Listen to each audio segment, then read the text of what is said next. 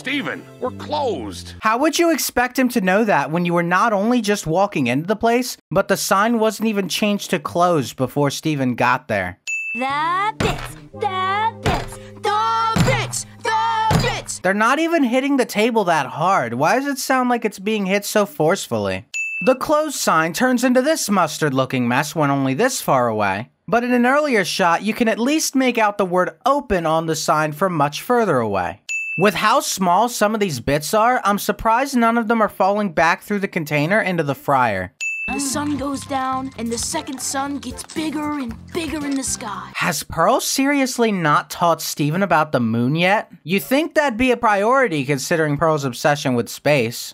Look at the size of it. I had no idea these things were so big. Some of us are trying to protect humanity. Where were you? God forbid they drop everything they're doing when they likely didn't even think to look up in the sky. Both of Garnet's shoulder pads are the same color in this shot.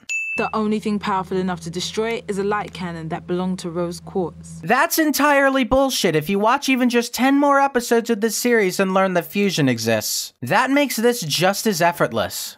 Even if she did leave it with him, he probably broke it, or lost it, or dropped it in the ocean by now. A. How does one lose a cannon? You'd have to make an active effort to do so. B. What motive would Greg have to drop one of Rose's most prized possessions into the fucking ocean?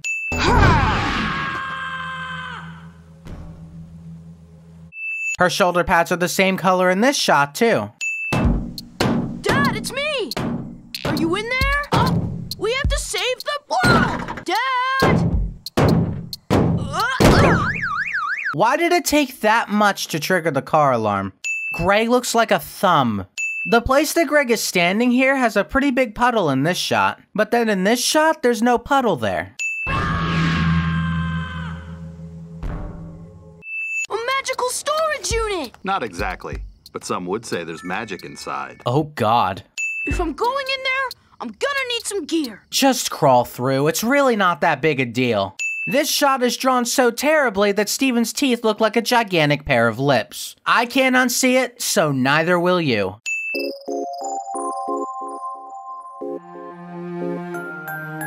This music track is genuinely really good. It's a shame so few people talk about it. There it is! Ah! Did no one think to tell Steven what the cannon actually looked like? I get that it's kinda hard to miss once you find it, but Steven knows next to nothing about Rose or her weapons at this point. Though to be fair, Steven somehow mistakes a bag and a drum as a fucking cannon, so he might just be a lost cause right from Jump Street. Also, what use would Greg have for this bongo? He doesn't exactly strike me as the type to produce yacht rock. When I came to play a concert here in Beach City, no one showed up except An alligator!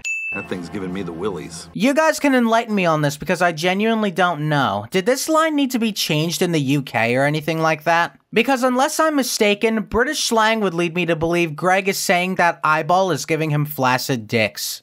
It's too big for the van. Your van literally pulled out the entire fucking garage. You're full of shit. If every pork chop were perfect. I know I'm not that tall.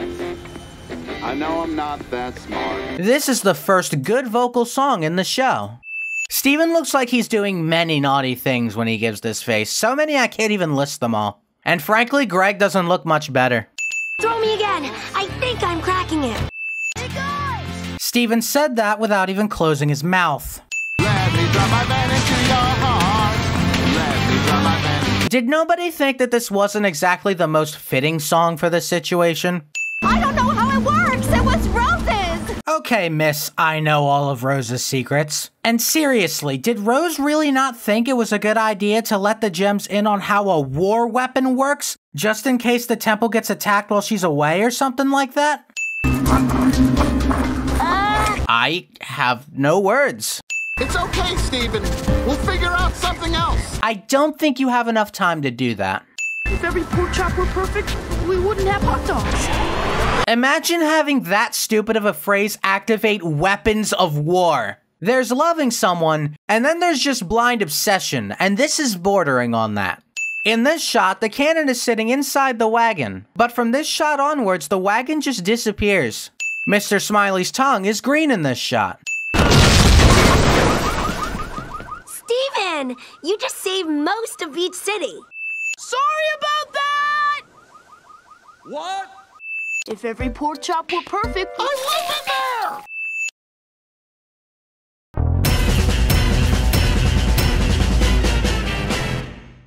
If every pork chop were perfect, we wouldn't have the Willies.